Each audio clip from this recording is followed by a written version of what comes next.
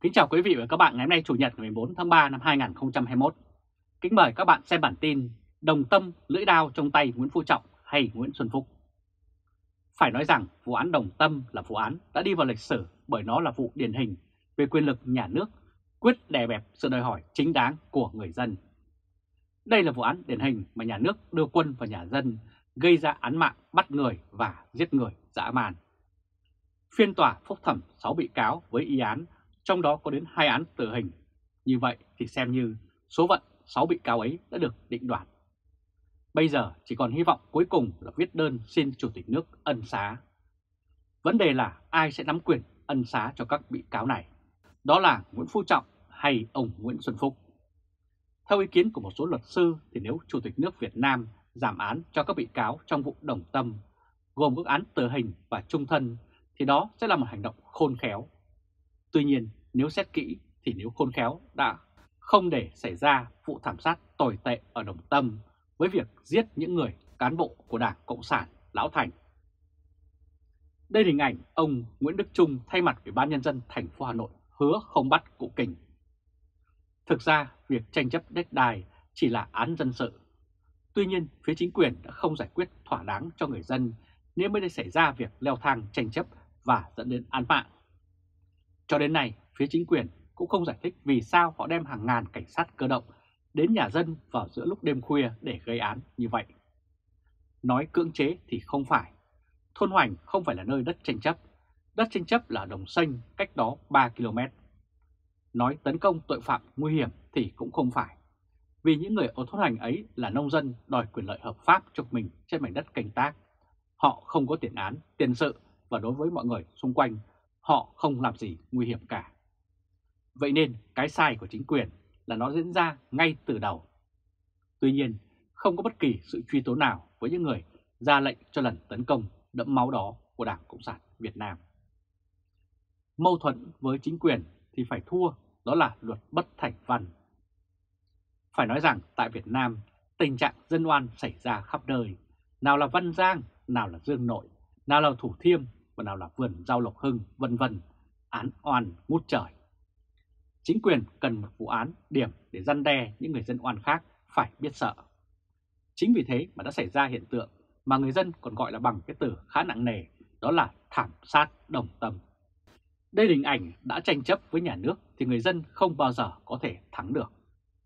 Nguyên tắc cả bên tấn công và bên bị tấn công phải đều xem xét tội chứ không thể chỉ xem xét một bên bên nào vi phạm luật pháp và phạm tội gì xử tội đó. Thế mới là công lý. Tuy nhiên, ở phiên tòa xét xử những bị cáo trong vụ án đồng tâm lần này, chính quyền chỉ xét xử phía bị tấn công, còn phía tiến công thì được mặc nhiên đúng trong khi đó chính họ bắt bắn chết cụ già 84 tuổi. Không biết ông cụ 84 tuổi có đủ sức làm hại lực lượng cảnh sát cơ động đông như quân nguyên của họ hay không mà phải giết cụ, manh phanh thầy mổ xác rất dã man. Với hai án tử hình tại tòa thì như vậy gia đình cụ Kình đã mất phải gánh ba án tử hình. Với cụ Lê Đình Kình, công an hành quyết tại chỗ. Còn với hai bản án tử hình còn lại, tòa án đã kết án tử. Theo quy định của Điều 367 Bộ Luật Tố Tụng Hình sự, sau khi bản án có hiệu lực pháp luật mà phiên phúc thẩm có hiệu lực ngay, thì sau 7 ngày từ ngày bản án có hiệu lực, các bị cáo có án tử hình có quyền xin ân giảm án tử hình lên Chủ tịch nước. Còn nước còn tát và bây giờ các luật sư đang nỗ lực cứu hai án tử hình bởi họ là người bị công an tấn công vào giữa đêm khuya và bản thân họ cũng là dân oan mất đất không được nhà nước giải quyết thỏa đáng. Hiện nay, mạng của tử tù Lê Đình Công, Lê Đình chức phụ thuộc vào bàn tay của ông Chủ tịch nước. Nói chung, lưỡi đao đang nằm trên tay của Chủ tịch nước. Nếu ông chém theo bản án thì hai người ấy sẽ mất mạng trong sự thương tiếc của xã hội còn ông buông đao thì đó là sự điểm sáng mà người dân có thể ghi nhận là con người ông chủ tịch nước. Ông còn chút tình người sót lại. Ông Nguyễn Xuân Phúc và Nguyễn Phú Trọng, ai chủ trương để xảy ra thảm sát đồng tâm cũng là câu hỏi được đặt ra. Hiện nay, ông Nguyễn Phú Trọng đang là chủ tịch nước.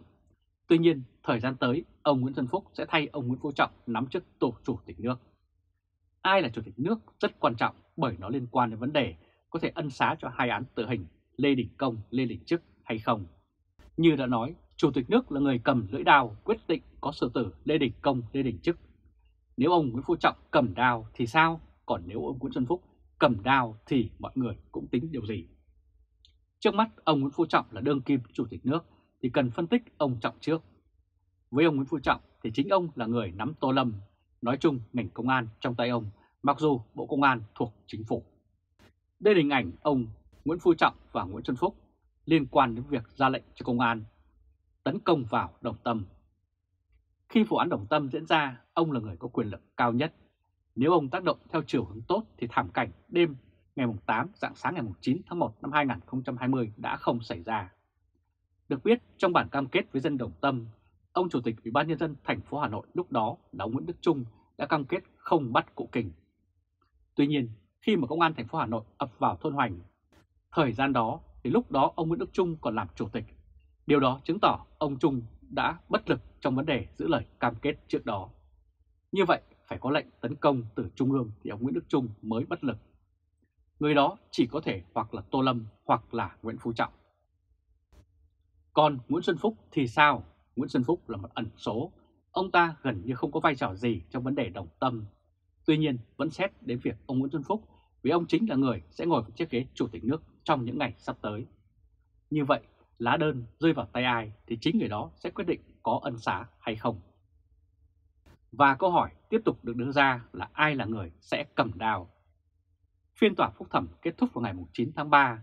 Theo thông lệ, sau 7 ngày thì phía bị cáo có thể nộp đơn lên Chủ tịch nước để xin ân xá. Khả năng là lá đơn sẽ được viết và đưa lên văn phòng Chủ tịch nước ngay trong lúc mà ông Nguyễn Phú Trọng còn làm Chủ tịch nước. Tuy nhiên, ông Nguyễn Phú Trọng là con người có ý đồ dùng vụ án đồng tâm này như là một loại án để răn đe người dân oan, nên cơ hội cho hai tử tù Lê Đình Công, Lê Đình chức là không cao. Tuy nhiên, không biết trong suy nghĩ của ông Nguyễn Phú Trọng những gì. Nếu ông muốn lấy lòng dân thì ông cần phải ký lệnh ân xá. Vì thực chất hai người này họ là nạn nhân của luật đất đai rất bất cập và chính quyền này chưa chịu thay đổi. Họ hoàn toàn không phải là những cá nhân cần phải bị loại bỏ ra khỏi xã hội không biết ông Nguyễn Phú Trọng có nghĩ về vấn đề đó hay không. Nếu lá đơn nộp chậm mà rơi vào vòng tay ông Nguyễn Xuân Phúc thì cũng không dám chắc ông Nguyễn Xuân Phúc sẽ ký thả tội chết. Bởi đơn giản, ông Nguyễn Xuân Phúc vẫn còn là một ẩn số chứ chưa phải là một con người tỏ thái độ rõ ràng với vụ án đồng tâm. Lê Đình Công, Lê Đình Chức thoát án tử thì rất cần đến luật sư và cần các động thái như sau. Thứ nhất là làm đơn gửi đến các cơ quan có thẩm quyền để kêu cứu. Thứ hai, điều quan trọng nhất ở đây là gửi đơn đề nghị kháng nghị lên tranh án Tòa án Nhân dân tối cao, Viện trưởng Viện Kiểm sát Nhân dân tối cao để xem xét lại bài án tại chỗ có hiệu lực pháp luật liên quan đến vấn đề tố tụng. Đây là hình ảnh hai người mang án tử Lê Đình Trức và Lê Đình Công. Điều đáng nói ở phiên tòa phúc thẩm có sự vi phạm nghiêm trọng về thủ tục tố tụng. Trong quá trình điều tra, truy tố và cả trong quá trình xét xử tại phiên tòa, sơ thẩm và ngay tại phiên tòa phúc thẩm. Theo một số luật sư, nếu có quá nhiều quá trình xem xét lại vụ án một cách khách quan, có thể điều tra lại, truy tố lại, xét xử lại một cách khách quan, công bình, thì việc họ thoát án tử hình và các mức án khác là điều có thể xảy ra. Tuy nhiên, khi ông Nguyễn Phú Trọng đã quyết xử án để gian đe người dân Việt Nam, thì rất khó để các cơ quan tố tụng xem xét lại bản án và chấp nhận xử lại theo đúng quy trình tố tụng. Trong tình thế chưa biết ai là chủ tịch nước thì không thể suy đoán hành xử của ông ta cho được. Điều đáng nói là nếu tránh Nguyễn Phú Trọng thì gặp Nguyễn Xuân Phúc cũng chưa chắc gì khả quan hơn. Và cách nào thì làm ông Chủ tịch nước sẽ buông đào? Hiện nay người dân rất mong mỏi ông Chủ tịch nước sẽ là người thấu hiểu được lòng dân, thấu hiểu được việc gì có lợi nhất cho dân và cũng là có lợi cho đất nước để mà có thể có một quyết định hợp lý trong trường hợp như đề nghị ân giảm cho được gửi lên. Thời nay có hai thứ mà những người có chức có quyền quyết định sinh mạng kẻ khác phải chùn tay trước khi hành động đó là niềm tin tâm linh và nỗi sợ lịch sử phán xét. Không biết ông Chủ tịch nước có nghĩ đến những điều này hay không? Hiện nay ở Việt Nam, thẩm phán cũng như tòa án chung đóng luôn vai công tố và không có bồi thẩm độc lập, vai trò luật sư không đúng tầm cần thiết nên bản án này sẽ không thuyết phục được công luận. Đây là hình ảnh dù là ông Nguyễn Xuân Phúc hay Nguyễn Phú Trọng thì cũng cần phải quyết định hợp lòng dân. Hầu hết các tòa án chỉ là công cụ hành chính đóng dấu phê duyệt những gì trong cáo trạng từ công an và viện kiểm sát. Nhất là vụ án đồng tâm này vốn mang màu sắc chính trị từ hai phía, dư luận và chính quyền, nên phía chính quyền y án sơ thẩm để gửi một thông điệp chính trị có tính áp đảo và gian đe hơn là công lý cho bị cáo hay cho xã hội nói chung. Nếu vận động được dư luận xã hội đủ mạnh thì có thể làm cho ông Chủ tịch nước chùn tay và cứu được Lê Đình Công và Lê Đình Trức. Ngoài cách đó ra, những cách khác không khả quan cho lắm. Họ không đáng chết, họ chỉ là nạn nhân mà thôi. Quý vị và các bạn vừa theo dõi chương trình truyền hình trực tiếp của Lê Trung Khoa, Thời báo chấm ngày hôm nay Chủ nhật ngày 14 tháng 3 năm 2021 với bản tin Đồng tâm, lưỡi đao trong tay Nguyễn Phú Trọng hay Nguyễn Xuân Phúc. Quý vị và các bạn hãy chia sẻ video này cho nhiều người biết và bấm theo dõi YouTube và Facebook của Thời báo chấm để luôn được cập nhật những bản tin mới nhất, nhanh nhất và trung thực nhất. Từ Berlin, Cộng hòa Liên bang Đức, chào các bạn và hẹn gặp lại các bạn ở bản tin lần tới. Trung Khoa Thời báo chấm đề.